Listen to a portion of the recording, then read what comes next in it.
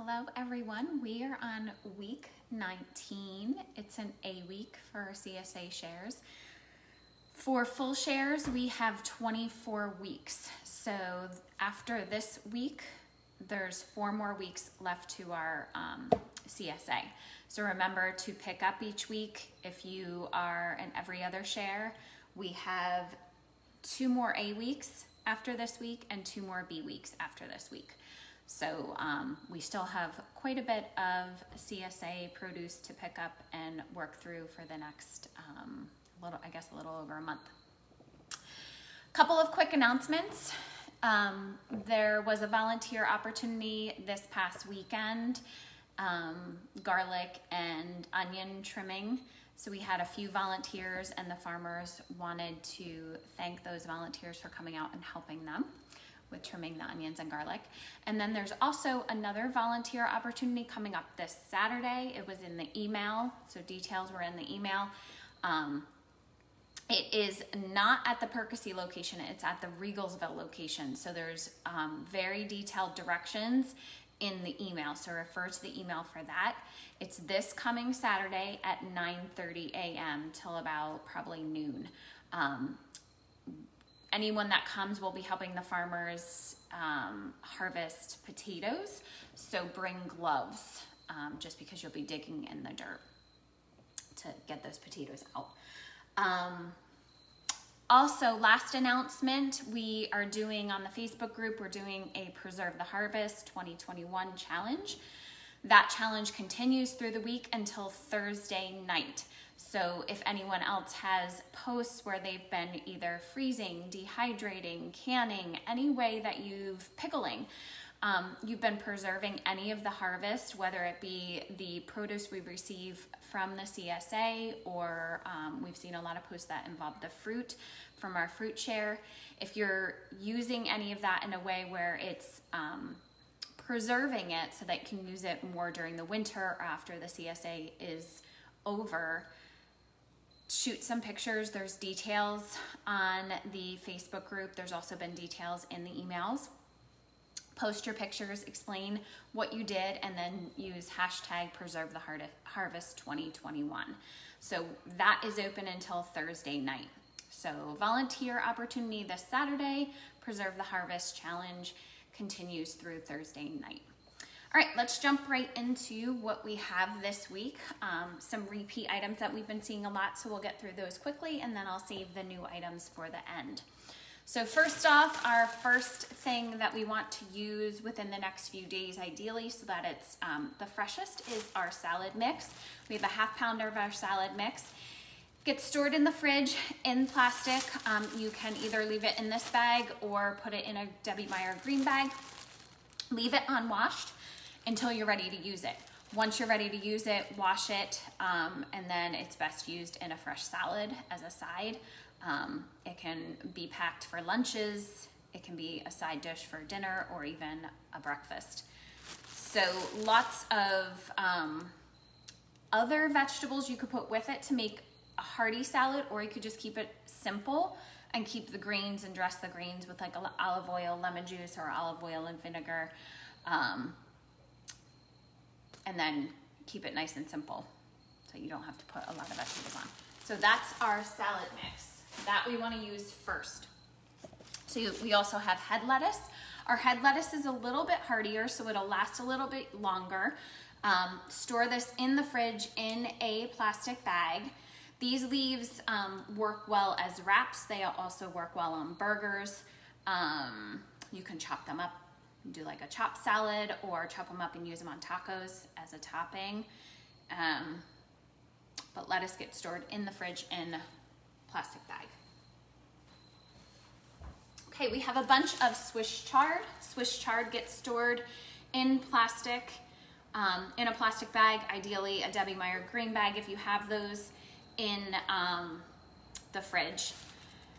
Any of our greens we want to use first. So those are the, the items that are um, not gonna last basically beyond this week. Um, some of the stuff stored in Debbie Meyer green bags lasts a little bit longer.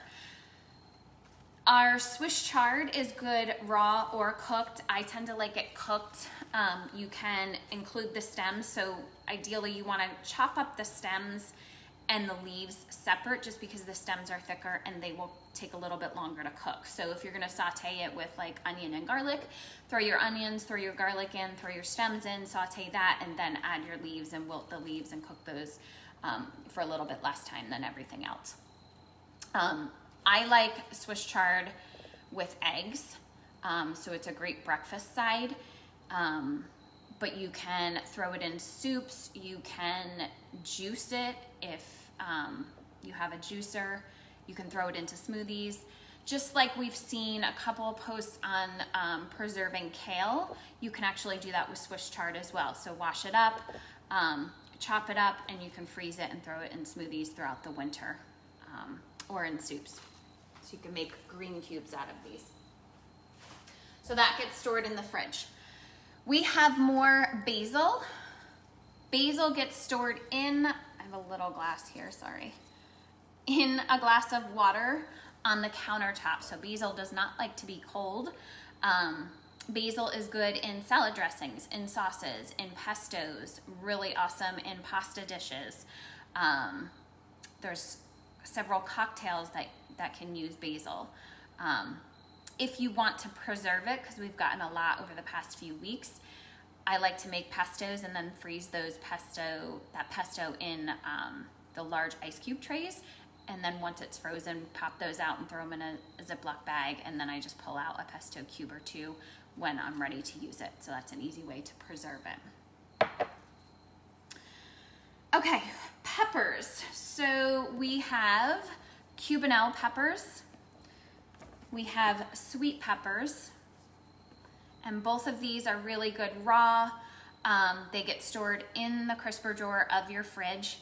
Um, they can be cooked, they can be sauteed, they can go in stir fries, they can be stuffed and cooked, they can be grilled.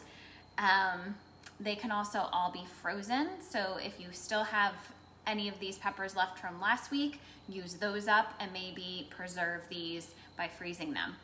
Um, they're really good for like sausage and peppers. They're good for stir fries. They're good if you do skewers on the grill, um, sheet pan meals, and they're also just great chopped up and as a snack. Um, my kids love to take these to school. Our other peppers are hot peppers, so we got to pick four hot peppers. This one's a poblano and a jalapeno. There's also cherry bombs, long hots, a bunch of others. So the heat, most of the heat in our hot peppers is held inside in the seeds and the membranes. So if you wanna reduce the heat of these, you're gonna cut, cut, wash them, cut them open, remove the stem, remove the membranes and the seeds, and you're gonna get less heat. But basically we're using these to add heat to dishes. Um, so if you want to add heat to salsas, um, add hot peppers. If you, you can actually stuff poblanos, um, jalapenos, you can make jalapeno poppers. Both can be frozen as well. Um, so just like we freeze the other peppers, you can freeze hot peppers. Um, these can be frozen whole, like the jalapenos can be frozen whole, or um, I slice them into rings and freeze them that way. Okay, so that is our peppers. Then we have sweet onions. Sweet onions get stored in a cool, dry place. These are really good raw or cooked, so they can be sauteed, um, they can be caramelized, they can be grilled. You can slice them up raw. I like to slice them really thin and put them on salad. Um, there was a recent blog recipe post about um, making onion powder. So you could certainly use these to make onion powder, um, and that's a way to preserve um, onions. These can also be frozen. So if you have a lot of onions, you can peel, wash them, peel them, and then slice them up or dice them, and then put them in Ziploc bags and freeze them. And then you just pull them out. Obviously, you're not gonna use them raw because anything you freeze is gonna gain a little bit of moisture, so it's not gonna keep the, the nice texture. Um, but can easily be thrown into a saute pan, into soups, and things like that. So cool, dry place away from potatoes. The potatoes give off moisture, so we wanna keep our onions separate. Garlic, also stored in a cool, dry place. Um, I basically say this every week, but garlic is great added to just about everything. Um, I love garlic. It's probably one of my favorite things. So you can add it to um, saute dishes. You can add it to soups. You can add raw garlic to vinaigrettes and dressings, which would go really well with our salad mix this week. Um, you can chop off the top and throw it in the oven and do roasted garlic, um, which is a great spread for um, breads. Um, this was also in that same blog post, blog recipe post for the onion powder. There was also um, information about making garlic powder. And the onion and garlic powder is phenomenal. If you've never tried making your own, it the flavor is out of this world compared to store bought. So it's it's worth at least a, trying a little bit. Um, so cool dry place. I keep my onion and garlic together. Okay, potatoes. We got a quart of potatoes. These get stored in a cool dry place, but away from our onions and our garlic because they do give off moisture. These are great roasted, they're great boiled, they're great grilled. Um, they're great as a starchy side. There's lots of blog um, recipe posts, so um, there's, I know there's been posts about potato salads. Um, and I think I still have dill left over from last week, so you could do like a dilly potato salad. Um, you could do a mayonnaise based potato salad. You can just do boiled potatoes that um, you mash as a side. Or you can do a big sheet pan meal with potatoes and peppers and onions, um, maybe even some tomatoes as a side. So those are our potatoes. We got, I think it was about three to four pounds of red beefsteak tomatoes. These get stored on the counter. Um, they're beautiful. They're great just sliced on a sandwich, on maybe a grilled cheese, um, on burgers. You can slice them up and just season them with a little sea salt and have them as a snack or a side. Um, great for salsas, great roasted as a sauce. Um, so we, we've seen a lot of tomatoes throughout the season. So we've had cherry tomatoes and heirloom tomatoes and um, the red beef steaks um, and plum tomatoes. These are the last of what we'll see for the tomatoes um, in terms of the red beef steaks because all the other ones are done. So these, um, we've got a lot of ingredients for salsas, a lot of ingredients that you could throw in a sauce or I just made a big batch of the roasted tomato soup that's on the blog. I did a double batch. We had it half for dinner and then the um, second half I froze so that we have a quick, easy meal that I can pull out. So these get stored on the countertop and just keep an eye on them. Um, if you start to see a spot, then you're gonna wanna use them or cut that spot out. Once you slice them, you wanna keep them in the fridge and you wanna use them within a day or two. Okay, we have three new items this week. So we got to pick lima beans, a quart of lima beans. Um, these are brand new. I've actually never worked with fresh lima beans before, so I'll be playing around with these this week as well. Lima beans, so this is the pod of the lima bean. We wanna get the beans that are actually on the inside. So quick and easy way, let's see, most of them were I already shucked some of them. But quick, easy way, if you still have the stem or any portion of the stem, if you pull that down and peel it, that one didn't peel really well, but um, peel that string down and then spin it one way, spin it the other, it opens right up. And then we've got the beans in there. So you wanna remove those beans and then the pod gets tossed. And these are all the beans that I've shucked or, or um, removed so far from the pods. Once you remove them from the pods, you should get about a cup and a half of beans. You do want to cook these.